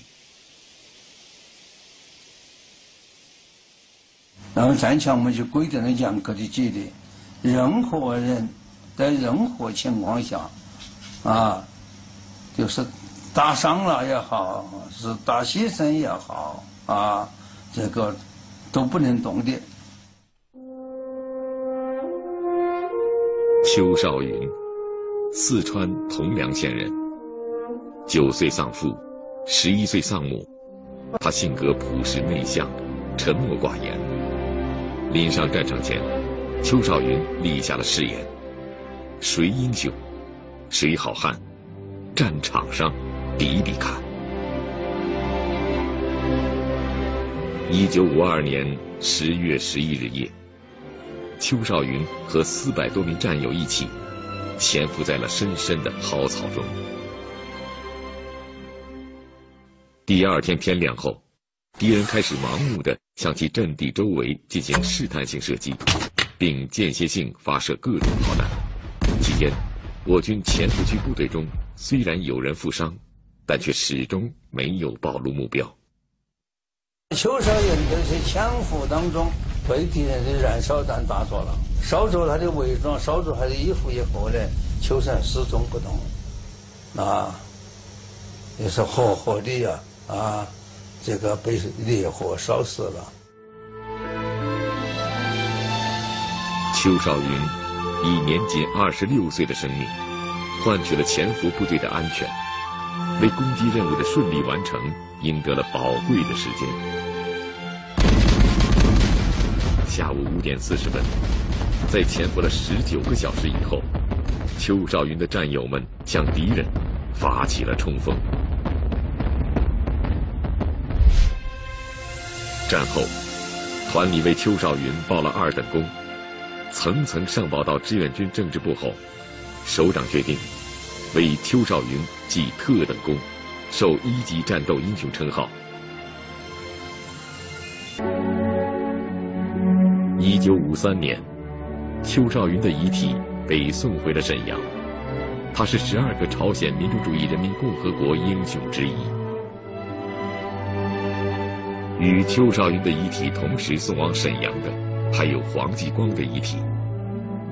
在邱少云牺牲七天之后，二十一岁的黄继光，在上甘岭战役中献出了自己年轻的生命。由于地势偏远，在黄继光牺牲三个月后，他的母亲邓芳芝才得知了儿子牺牲的消息。一九五三年三月。四川省人民政府主席李井泉批准黄继光的家乡石马乡更名为继光乡。一个月后，黄继光的母亲邓芳芝受邀出席全国妇女大会。会上，毛泽东对她说：“你牺牲了一个儿子，我也牺牲了一个。”会后。毛泽东还特意请他到中南海自己的家中做客，表达了一个烈士的父亲对一位英雄母亲的敬意。一年之后，邓芳芝将黄继光的弟弟黄继树又送到了朝鲜战场。把我送到部队去，就是为了发扬黄继光的荣誉，要使代代人都能做这样的继承人。他说我妈妈的思想非常开放，把我送到部队去的。一九五八年三月，在中国人民志愿军即将撤离朝鲜之时，黄继树和各个生前的战友们，来到了黄继光牺牲的地方，向他告别，并带去了母亲的问候。黄继树到上甘岭以后，去看这个黄继光牺牲的那个，嗯，那个那个那个地堡的这个呃枪眼那个地方，就跪下了，拿了一些土。还找了一些个子弹壳，他告诉我，他说要给他妈妈带回去。然后他说：“你我妈妈，你让我在这儿种一棵树，我都把它拍下来了。”会昌郡位于朝鲜民主主义人民共和国首都平壤东约一百公里。中国人民志愿军司令部曾在这里驻扎。一九五七年。中国人民志愿军和朝鲜当地群众，在这个一百五十米高的山腰上，共同建造了占地约九万平方米的志愿军烈士陵园。这也是朝鲜几十个志愿军烈士陵园中规模最大的一个，共有一百三十四名烈士长眠于此。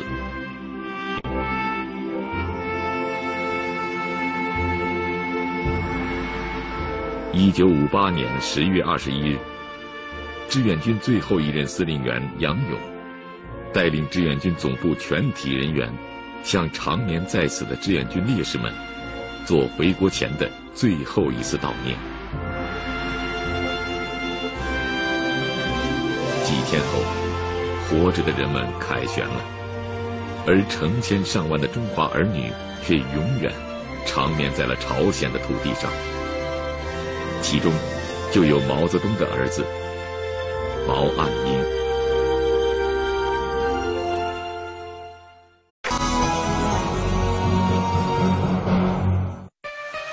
中华民族的优秀儿女用鲜血和生命谱写了怎样的生命乐章？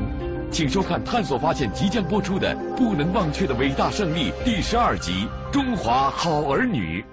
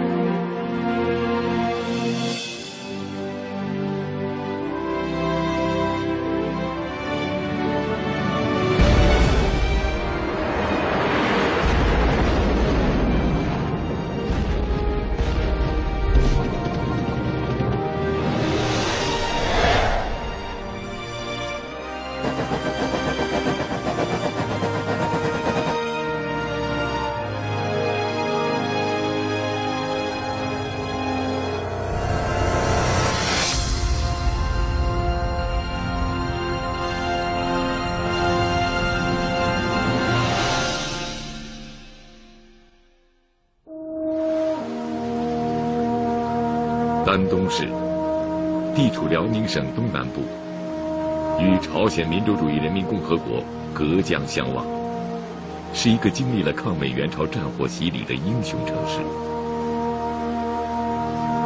在这座城市中，先后修建了许多抗美援朝烈士陵园。坐落在风景秀丽的锦江山北麓的抗美援朝烈士陵园，安葬着在抗美援朝中牺牲的烈士。二百六十四位，其中第五十军著名的战斗英雄王长贵就安葬在此。曹献志，抗美援朝时期任第五十军医疗队队长，今年已经八十七岁高龄了。离休后，他常年居住在丹东市。每逢清明时节，他都会来到这里，看望王长贵和其他长眠于此的战友们。几十年如一日。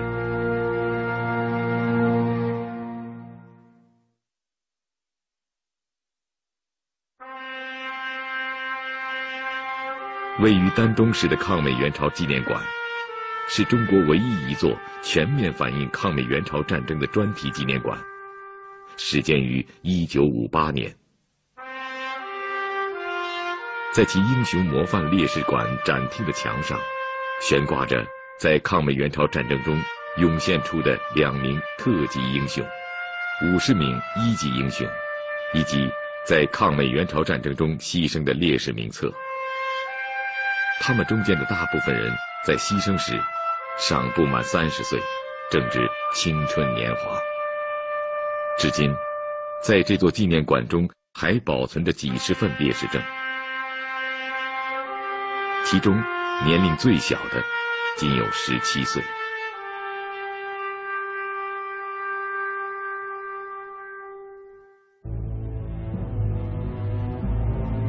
在朝中友谊塔内的烈士册上，排在第一的是时任第六十七军军长李湘。一九五二年七月，李湘被美军投掷的细菌弹感染，病逝时年仅三十七岁。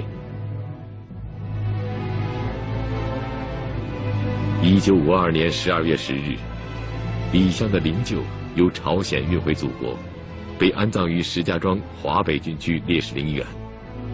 时任中国人民解放军代总参谋长、华北军区司令员聂荣臻挥笔写下了：“我深已丧失了二十年的老战友、青年优秀将领李湘同志，而哀悼。”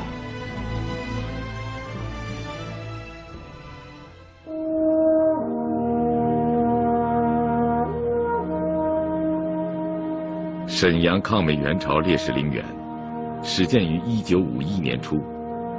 按照当时的规定，只有中国人民志愿军、解放军及其他直接在朝参加抗美援朝战争之团以上干部，或由军职领导机关批准的特等英模牺牲病故者，才能入园安葬。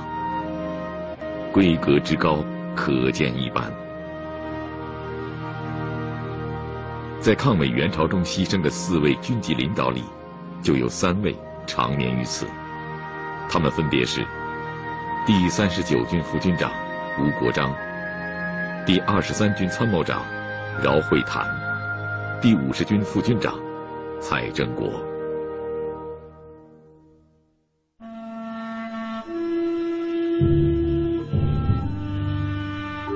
一九五一年十月六日。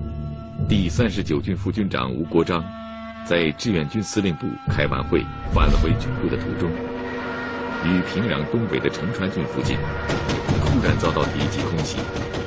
吴国璋左肋处中弹，不幸牺牲，年仅三十二岁，是朝鲜战场上牺牲的最年轻的副军级干部。吴国璋牺牲后，第三十九军军长吴信全。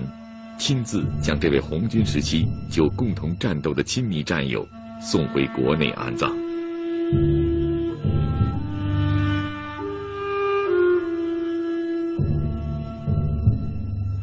一九五三年三月二十日凌晨，第二十三军参谋长饶会谈在召集生病的警卫员进防空洞的途中，遭遇敌机轰炸，不幸牺牲，时年。三十八岁，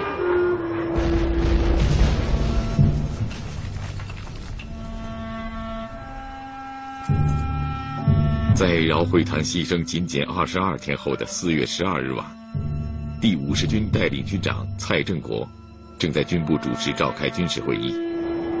晚九点四十分左右，夜空中突然响起了敌机的轰鸣声，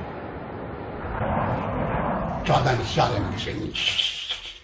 摩擦空气那个声音，砰一下，就直接轰过去。醒来以后，结果在想我还活着，这是活活得赶紧伸手，右边是警长，这边是科长，一摸警长没有了。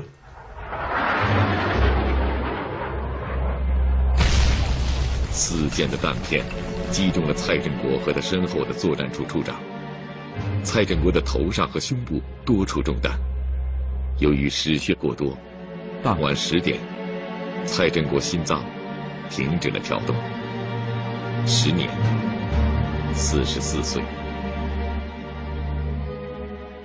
一九五三年十二月五日，朝鲜平安南道安州郡人民及史元后生前所在部队三千多人，隆重举行追悼大会，将始元后的遗体安葬在龙潭岭上。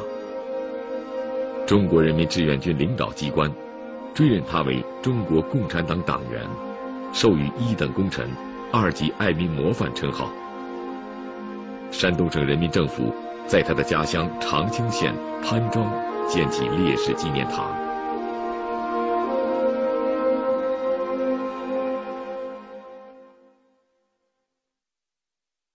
在抗美援朝的英雄谱上，还有一位特殊的活烈士，他是最早获得战斗英雄称号的人之一。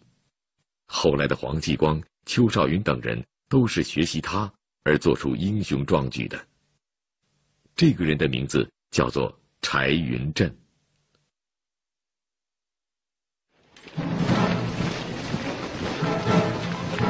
一九五一年五月底，第五次战役已接近尾声。柴云振所在的第十五军四十五师接受任务，在支布里地区的朴达峰坚守七至十天时间。在朴达峰阻击战的第六天，柴云振。从第四十五师警卫工兵连被抽调补充到第幺三四团八连七班任班长，他的任务是带领全班夺回七连主峰阵地。蔡英振，他带着三个战士夺回两个被敌人占领的前沿阵地，消灭近两百个敌人，最后。手榴弹也打光了，和敌人抱在一起。他本来呀是要是要伸手抠敌人的眼睛的，俺美国人一下在那哼，把这右手食指咬断了。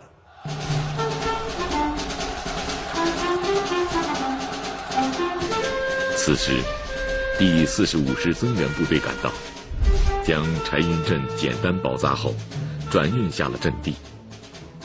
柴云振。被志愿军政治部授予特等功臣、一级战斗英雄称号，他所在的部队成为了英雄部队，他所在八连也被评为特工八连。但此时，柴云振却失踪了。志愿军总部发给柴云振的英雄勋章无人领取，在朝鲜的军事博物馆展厅里，也挂起了英雄柴云振的遗像。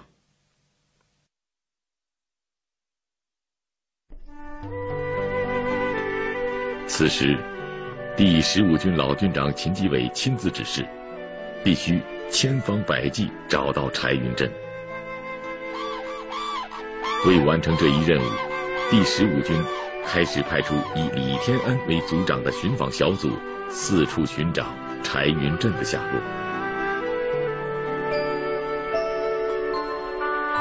李天恩寄出了四十多封信，等待了一个多月后，当年。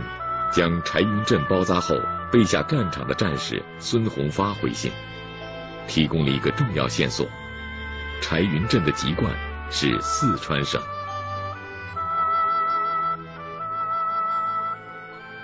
接到信里头，我就起草那个九十二个字的随人启事，在四川日报上登一登。那年我那个女媳妇儿，她在学校里教书。他说部队上的张伟，我说天下同民，贡献甚多嘛。他来做了嘛三次工作。他说：“爸爸也管他是不是嘛，你回去看下你的老部队嘛，老老首长嘛。”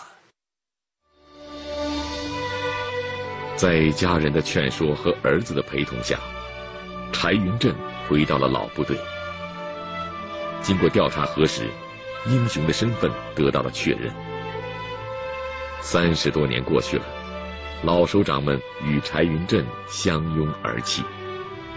向守志说：“柴云振我们找的你好苦啊！”不久，秦基伟还特意在北京的家中宴请了柴云振。原来，朴达峰战役中，柴云振身负重伤，几经辗转后送到了包头的一家医院。在住院一年后，他拿着三等乙级残废军人证书，在民政局领取了一千斤大米的复员费，回到了自己的家乡岳池。回乡后，他先后担任过大队长、乡长、公社党委副书记等职。三十多年里，柴云振默默地为党和人民辛勤工作，无私奉献。谁也不知道他是一位大英雄，包括他自己。一九八四年十一月的一天，五十六岁的柴云振。穿上了一身崭新的军装，领回了迟到三十多年的勋章。第二年，柴云振随抗美援朝英雄代表团访问朝鲜，在朝鲜军事博物馆，柴云振请服务员将自己的遗像和事迹简介摘了下来。酒鬼香泉酒提示您。精彩继续。下节看点：随着蒋庆泉向我开炮的呼叫声消失在电波中，他的命运又将发生怎样的逆转？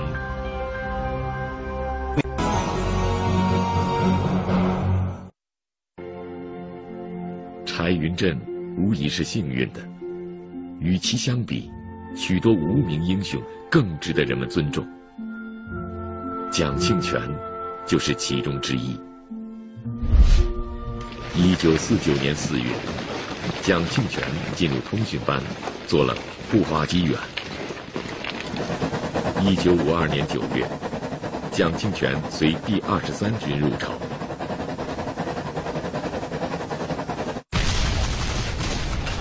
一九五三年四月十六日，蒋庆泉所在的第六十七师。二零幺团五连接到命令，攻占石县洞北山，扼守阵地，组织炮火大量杀伤反击之地。经过几番争夺，蒋庆泉所在连、排、班长全部牺牲，一百六十五人组成的加强连所剩无几。五连都说的，报告营长。我们连的那个那连连干部、连排长，全部牺牲，就剩我们几个人了。你看咋办？哎，完说那你也得阻止啊。营长说也得阻阻阻这个组织人员准备敌人反击呀。他说那可以呀，但是呢，我们连个通讯员都没有了，是连步行机员都没了。营长一回头，你留下吧。哎，把营部。给我下在那北山上，给我下放到五连了。在坚守了一天两夜后，蒋庆泉通过步话机报告，阵地上只剩下了十多个伤病员，两把冲锋枪和不多的子弹，只能退入阵地的地堡中。随着美军越来越近，蒋庆泉呼唤炮火支援的落点越来越近。延安，延安，延安，延安！黄城呼叫，黄城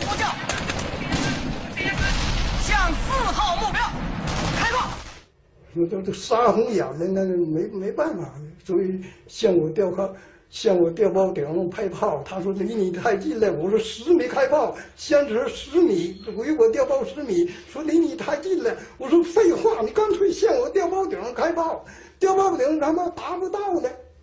我说。没办法了，向我开炮，是这么喊出来。他用这种就是对决我的全身打，对着我打，所以我一直都没有啊。哎，特别是那个那个向我开炮那个电影出来以后啊，眼看美军就要占领阵地时，蒋庆泉最后喊道：“向我开炮！”向我开炮！随后，声音消失在电波中。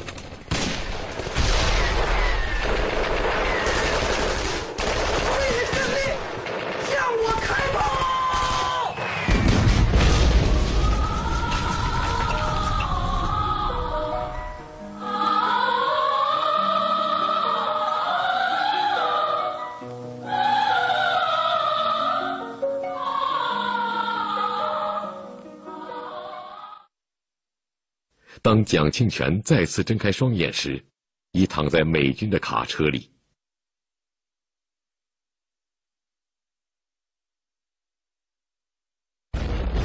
石仙洞北山战斗结束后，战地报记者洪儒在实地采访时，听说了蒋庆泉向我开炮的事迹。很快，洪儒反映蒋庆泉事迹的战地通讯。顽强的声音，即步行机员蒋庆泉创作完成。就在这时，一条震惊的消息传来：在联合国军交换的战俘人员名单中，有蒋庆泉的名字。同年七月。第二十三军七十三师二幺七团的步话机员于树昌，也在战斗中呼唤炮火，与敌同归于尽。于是，鸿儒根据未能发表的顽强的声音，以于树昌为主角，又另写了一篇通讯，向我开炮。因为人的编剧呢跟导演商量了，说这个王成死的死的太简单了，给他。加点英雄事、英雄故事，他是把这个向我开炮讲出去。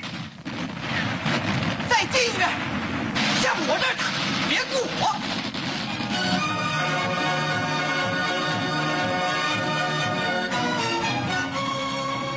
随着电影《英雄儿女》的热映，王成向我开炮的口号也传遍了神州大地。本该成为英雄的蒋庆泉。命运却发生了翻天覆地的变化。被俘后，蒋庆泉被甄别为无药可救的顽固分子，被送到釜山第三战俘营。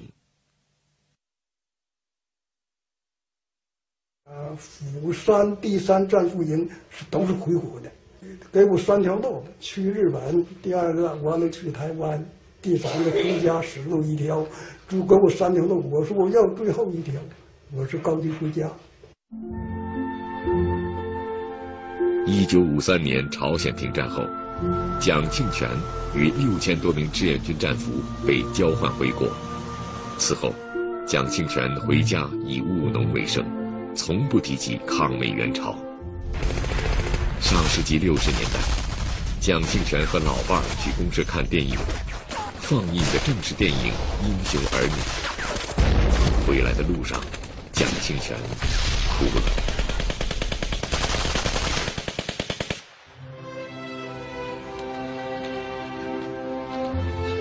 今年已经八十五岁的蒋庆泉，每逢赶集日，都会带着老伴儿到附近的集市支上小摊儿，售卖老伴儿亲自缝制的鞋垫儿，军人和残疾人免费。用他自己的话说。不为别的，只为了发挥余热。蒋庆泉还将自己的经历写成《我从战俘营中走来的》书稿，就是想把自己一生的经历留给后人。关于英雄，蒋庆泉说：“我是王成，也不是王成。我不是英雄，但我也不是狗熊。”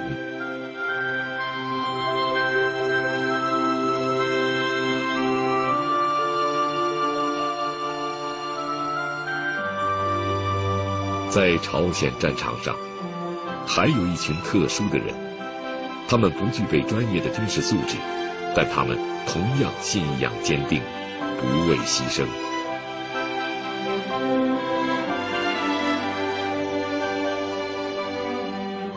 郭振文，第十五军战地记者。一九五一年四月二十二日，五次战役开始后，他被派往。第幺三三团随部队采访。去了以后，他就给我派了一个团里边的摄影干事，这个人叫熊笃忠，哎，呃，叫他陪我，叫他陪我，说那个小伙子长得很帅，我们都是晚上行军了，一出门那路上炮火就来了，铺天盖地的，是每天那个晚上呢你走几十里路吧，一路敌人的炮火就在敌人那个炮火里边走。有时候啊，一个还没接住敌人一个连队就三分之一或者或者更多的人就牺牲了，伤亡伤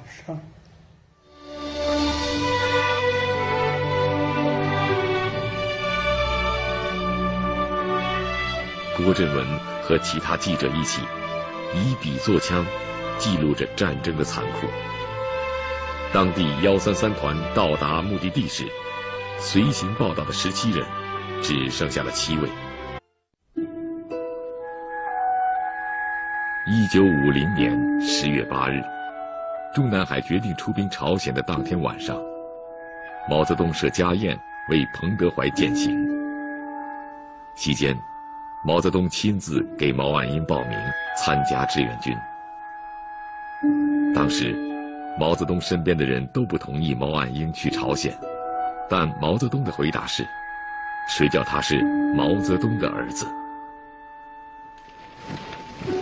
就这样，毛岸英成了中国人民志愿军的第一个志愿兵，任司令部办公室俄文翻译、机要秘书、作战处参谋。赵南起，时任志愿军司令部作战处参谋。他与毛岸英朝夕相处了一个月零五天。六十多年过去了，但毛岸英牺牲时的场景，他依然记忆犹新。十点左右，敌人飞机来了四架，扔了几十颗零五九弹，结果呢，一时间啊，彭中的那个两间房和作战处的那个三间房。一下烧没了，整整个那个地区也成了火海了，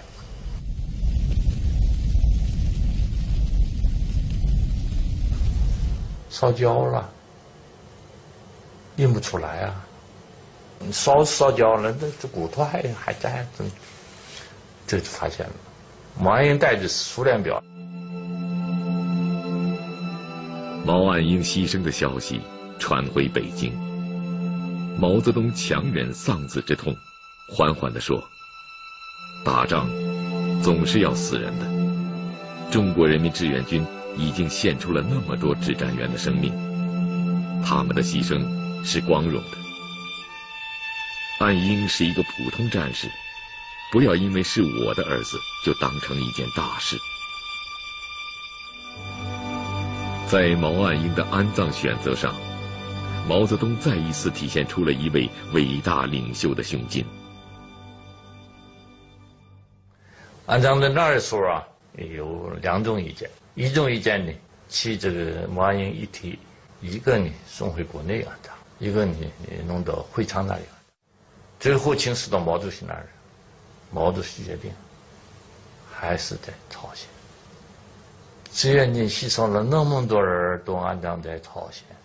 异国他乡，在他心目当中都是中华儿女。对于毛岸英的牺牲，彭德怀曾经评价说：“国难当头，挺身而出，这不是每个人都能做到的。但毛岸英做到了。毛岸英是坚决请求到朝鲜抗美援朝的。”从入朝参战到牺牲，只有短短的三十七天。年仅二十八岁的毛岸英，没有获得任何荣誉称号和奖章，但是，他和成千上万把生命留在朝鲜的志愿军战士一样，在这场和平与正义的战争中，永垂青史。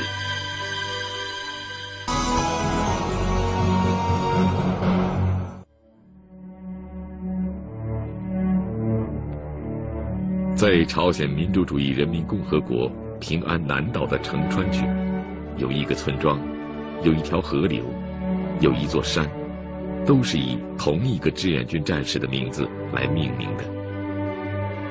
也许，当地的人们有一天会忘记，那个村庄曾叫石田里，那条河曾经叫尼月河，那座山曾经叫佛体洞山。但他们一定不会忘记这个志愿军战士，他的名字叫做罗胜教。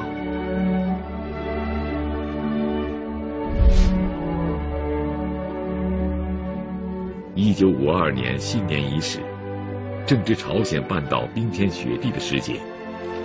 与自然气候相仿的是，朝鲜战争也进入了十分艰苦的相持阶段。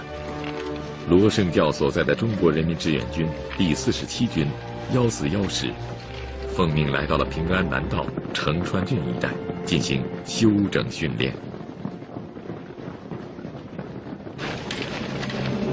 一月二日早晨，与往常一样，罗胜教随所在的连队例行出操。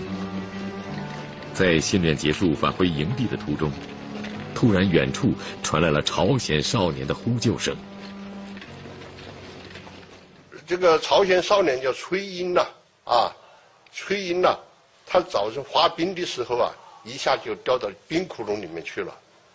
掉到冰窟窿里去了，我们侦察连的文书，啊，罗胜教，啊，当时就一面跑一面一面脱衣服，就把衣服脱了，脱了以后就跳到冰窟窿里面去救这崔英。崔英脱了几次。最后，凭他全身的力气，把崔英拖出水面。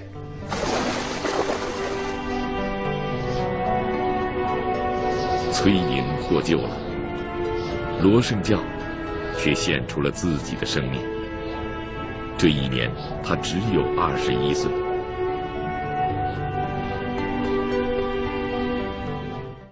当地老百姓把他，呃，抬起来。然后呢，用温水给他洗了澡，擦了身上，用白布给他裹起来，按照朝鲜的风俗，就埋在那个他们家乡的那个呃山的小山上了。一九五二年二月四日，新华社播发了本社记者戴煌发自朝鲜前线的通讯：不朽的国际主义战士。报道了罗盛教舍身抢救落水朝鲜儿童的英雄事迹。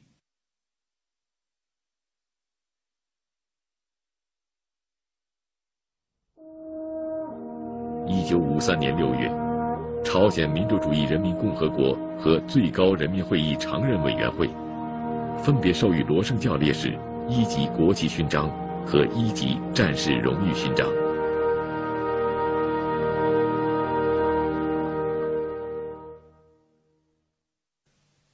在朝鲜安州铁道兵烈士陵园中，也安葬着一名罗盛教士的国际主义战士史元厚。铁道兵某部警卫连战士，山东省长清县人。五三年十二月一日，一个朝鲜儿童在滑冰，掉到冰窟窿去，被被救的儿童是赵元红，儿童得救了。他光荣的牺牲了。